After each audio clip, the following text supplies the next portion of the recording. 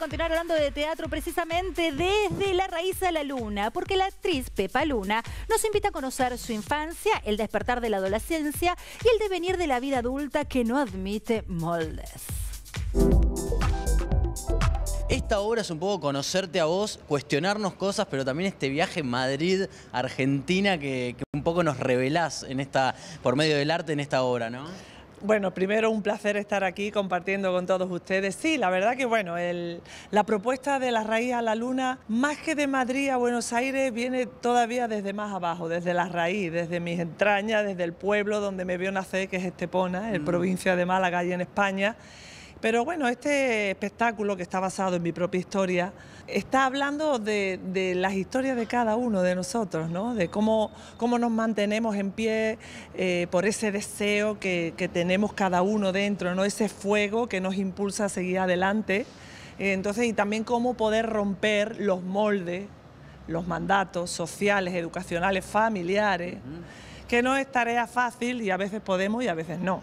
Hay una pregunta que es, creo, el disparador de todo eso que vos te hiciste, en donde de algún modo hiciste futurología, qué iba a pasar, ¿no? Un poco de más grande en tu vida y también uno si iba a ir logrando algunas de estas cosas que desea, ¿no? Claro, esa pregunta que creo que nos hacemos todos alguna vez, ¿no? ¿Cómo me veo dentro de tantos años. Tantos años, o cómo me veo, incluso hasta el año que viene, ¿no? Creo que todos hacemos como una especie de eh, reflexión, yo por lo menos lo hago anualmente, siempre trato de hacerlo, y ahí es donde uno empieza a plantearse, ¿estoy haciendo lo que quiero?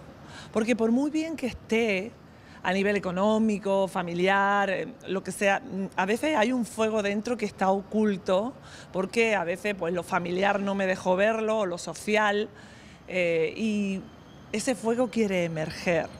Y a veces si uno le presta atención se da cuenta de que hay un vacío muy profundo dentro de uno mismo y que tiene que ir en busca de eso. Y meterse ahí dentro es una gran tarea que invito yo a hacer a través de la raíz a la luna. El gran impulso, el entusiasmo, las ganas de levantarse, de hacer cosas, tienen que ver cuando yo también estoy haciendo lo que quiero de la raíz a la luna trata un poco de todo eso, ¿no? De plantarse dentro del deseo de cada uno, que puede ser el que sea, y que lo único que aspiro es que a las personas que vayan a verlo también se vean a sí mismos como es el teatro, ¿no? Que siempre que vamos a ver una obra salimos modificados, no salimos igual. Bueno, Pepa, ¿cuándo te vemos? ¿En qué lugar y horario para disfrutar de, esta obra? Los domingos a las 20.30 en el Teatro Tadrón, ahí que está en Nifeto, Vega y Armenia y allí los esperamos cada domingo a las 20.30 para transitar de la raíz a la luna.